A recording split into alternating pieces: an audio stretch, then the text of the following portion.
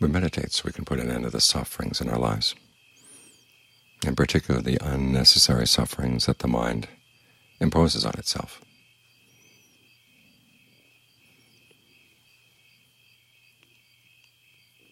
And as it turns out, those are the sufferings that weigh down the mind. Without those sufferings, there's no problem.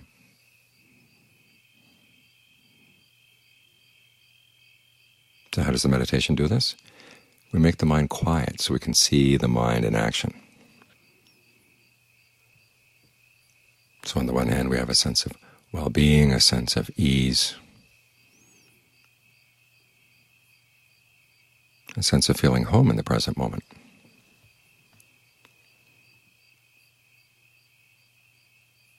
So we become, become more and more sensitive to what's going on in the mind, what the mind is doing in the present moment.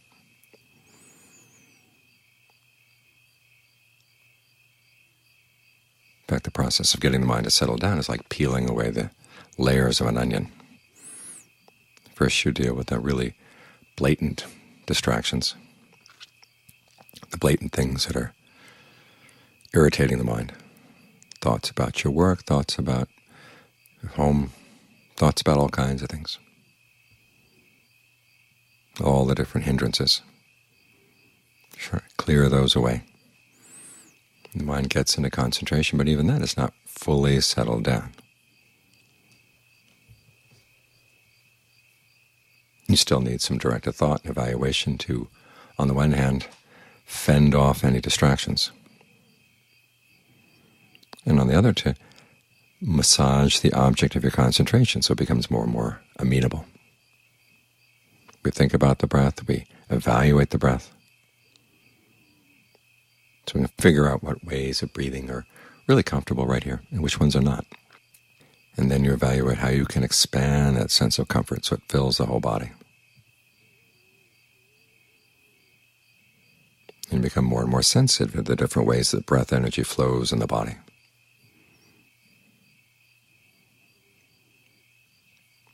You learn how to distinguish between the flow of the blood and the flow of the breath. They are two different things, but they're very closely associated. When the breath flows well, the blood flows well.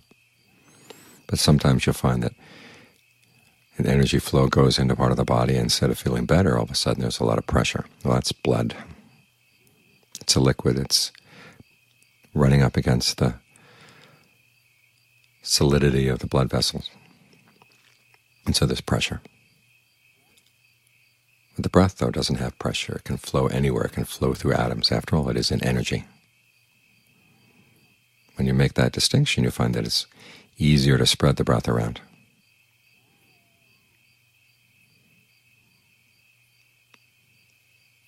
Then it gets into more and more refined areas of the body, all little nooks and crannies, all the way out to every pore. There'll be a sense of rapture that goes along with this. The rapture is the sense of the movement of the energy, and it feels refreshing. But then after all, you decide the rapture isn't all that calming. You want something even more still, more silent.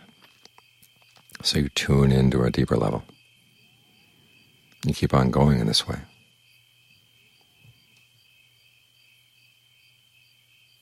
As some concentration gets more settled and refined, you begin to discern things that you didn't see before, subtle levels of stress you didn't see. This is one of the reasons why inconstancy is one of the themes, not only of insight, but also to assist in your meditation, assist in your concentration. The Buddha taught Rahula the theme of inconstancy even before he taught him breath meditation.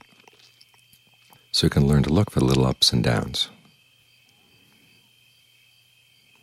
When the stress level goes up in the mind, what did you just do? When it goes down, what did you just do?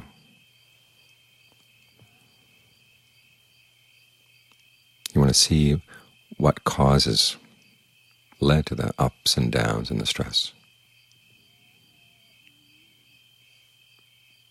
Next question is, are those mental activities? And that's what you're looking for, are the actions of the mind. It's very important when you get the mind still, as you don't try to interpret it as some sort of great spiritual attainment in the sense of tapping into some ground of being or your true self or cosmic oneness or primordial emptiness. Those big titles tend to blind you to what's actually going on. You want to see what you're doing and what you're experiencing as the result of actions. There are movements in the mind, perceptions, thought constructs, acts of fabrication that get you to those states and can keep you there. And there'll be a slight inconstancy there. The more settled the concentration, of course, the more subtle the inconstancy, but it's still there. You have to learn how to see it. You go from one level of concentration to another. Sometimes you have to adjust. It's like adjusting your eyes when you go from a dark room to a very bright room, and then from the bright room even to an even brighter room. You have to stay with these levels so that you can get used to seeing, okay, where are you doing something to keep this going? At this point, we're far away from the hindrances. And the only real disturbance is, the only real stress is what the mind is doing right here, right now, to maintain its concentration.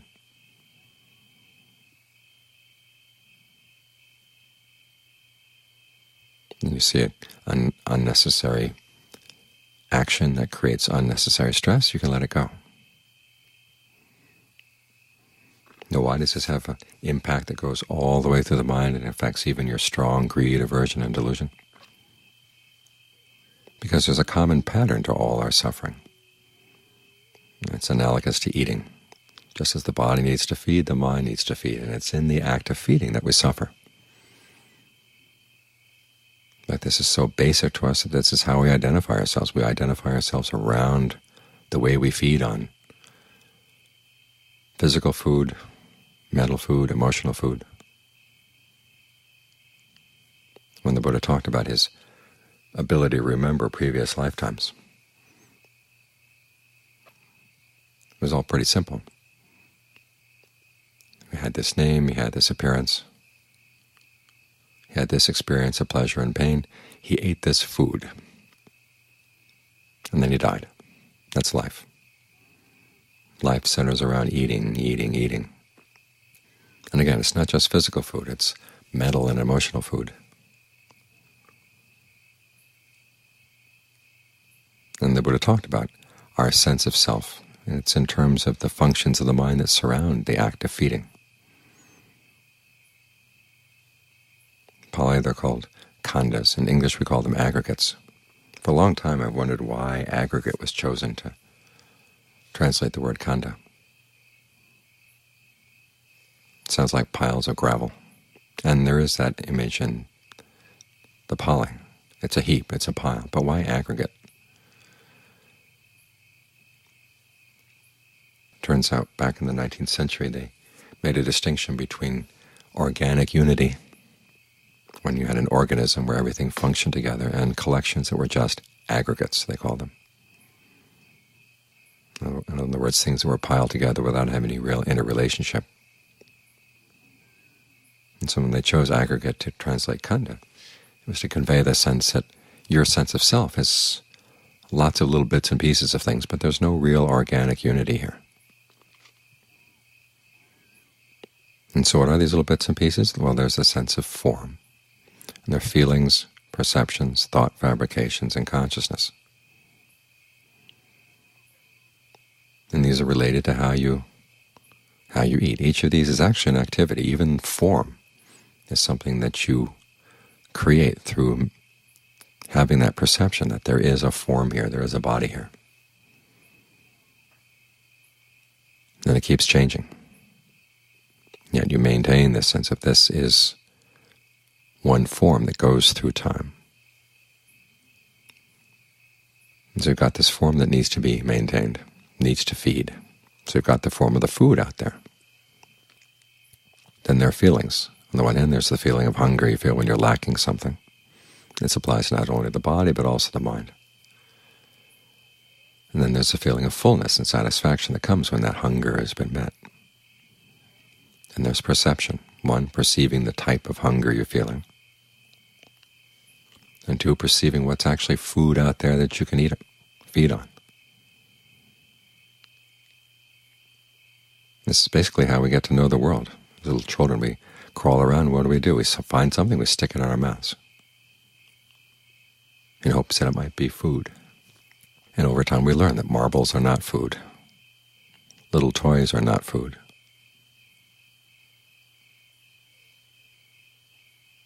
And it's the perception that we have to hold in mind as to what is and is not food that will will or will not satisfy our hunger. And this fabrication. When you've got some food, can you just take it as it is? No, you've got to work with it.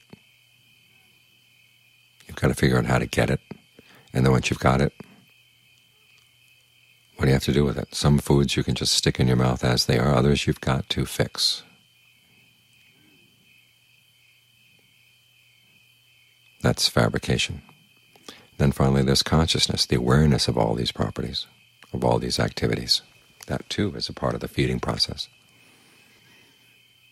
So these are the things that go into feeding. They're also the things that make up our sense of who we are.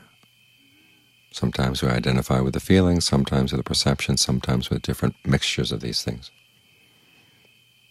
But that's our sense of self. And where do we see this directly? We see this in the process of getting the mind into concentration.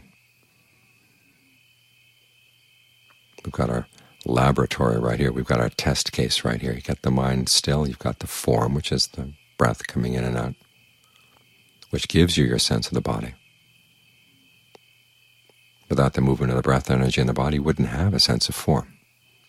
Try it sometime. Get the mind really, really still, so still that you don't need to breathe and you find that your sense of form begins to disintegrate first into a little cloud of sensation dots or sensation droplets, like a mist. And the sense of boundary or edge around the form gets very vague,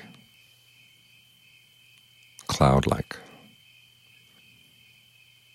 And you realize it was because of the movement of the breath that you had a sense of the shape where your arms were, where your legs were, and everything. But when that breath movement grows still, there's nothing to confirm the perception of form, so you drop it. So you've got the breath as form, then you've got the feelings, of course, that come with the breath, either comfort or discomfort, the perceptions that hold you with the breath, and the various ways of perceiving the breath to allow you to get into deeper and deeper states of concentration. Finally, you can drop the breath and go into formless states. You got perceptions of infinite space or infinite consciousness, nothingness. This fabrication. In the beginning it's verbal fabrication, directed thought and evaluation that allows you to settle down. And then it gets more and more refined.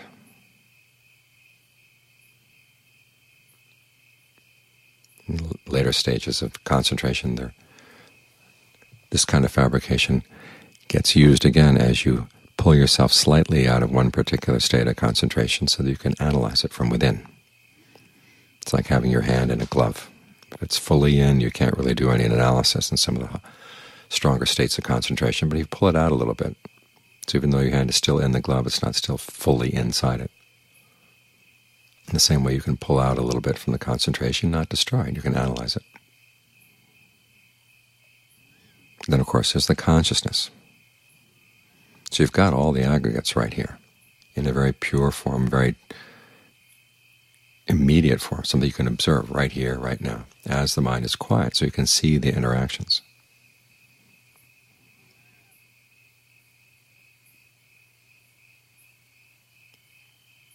And so what you've got to learn how to do is get the mind really enamored with this practice first. So you can use it to pry away your your hunger for other things. You've got the, the jhana as food. And the Buddha talks about this many times. So when you're fed with this, you're not so hungry for things outside. You're not so hungry for sights, sounds, smells, tastes, tactile sensations. And it's easier to see them as in that passage from the sutta we chanted just now, that they are on fire.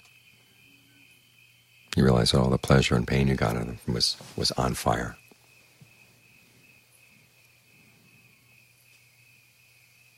It makes you less interested in them, and as a result your attachment to the concentration gets stronger. Now there's healthy attachment and pathological attachment. Pathological is when you just want to hide away in the concentration and don't want to do your duties, you don't want to engage with the world. that's unhealthy. You have to realize that the problem is not with the world outside, it's with the irritability of the mind inside. You've got to learn how to use your concentration to strengthen you in your dealings with the world outside.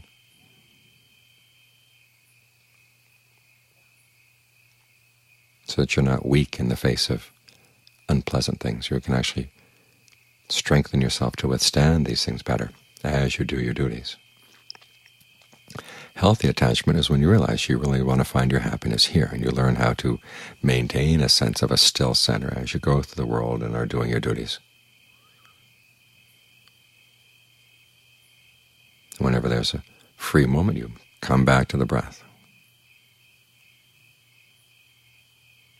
Get as much energy and much as much refreshment as you can out of it.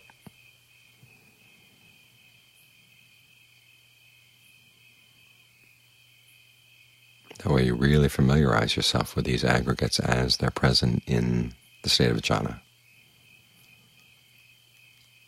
And ultimately there comes a point when you begin to develop a sense of disenchantment with them. Again, the word disenchantment, nibbida, is related to a sense of the sense you have when you've had enough of a particular kind of food. You love cheesecake and you ate cheesecake and finally you look at it and you can't stand cheesecake anymore. From that comes dispassion. And the dispassion is important because our continued fabrication, and this applies to all the aggregates, is fed by passion. It's because we're feeding on these things, getting food out of them, that we keep engaging them. But then when you realize that they're, they themselves are not worth hanging on to, and the food they provide is not worth hang, hanging on to, why bother? That's when the mind can let go. And because it has been letting go of other things, this act of letting go is special.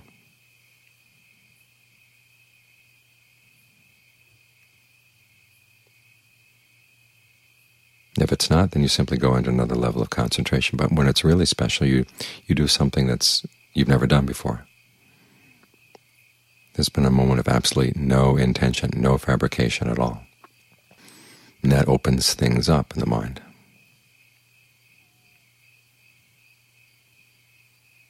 That's how you find the deathless. So this is why jhana is so important for giving rise to insight,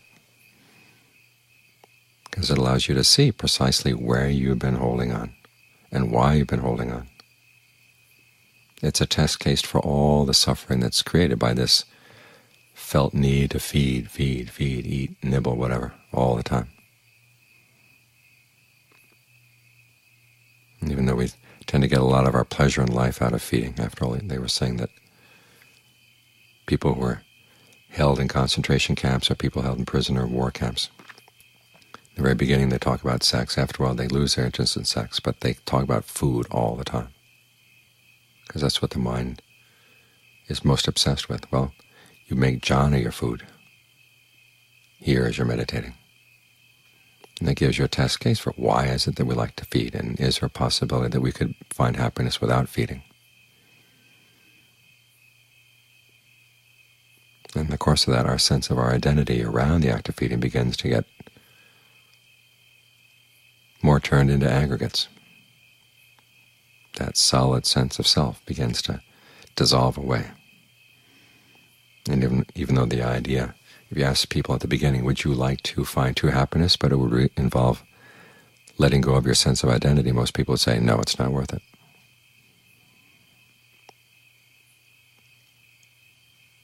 But as you approach it in a strategic way, first getting people attached to the jhana and then seeing what happens to their sense of self,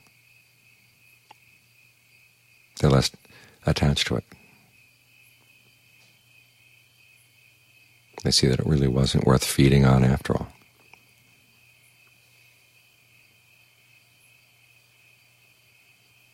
That's how we take this whole mass of suffering apart.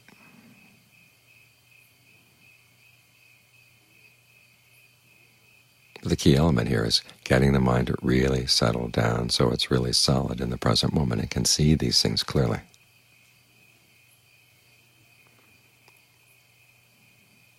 That's the part of the path you can't do without.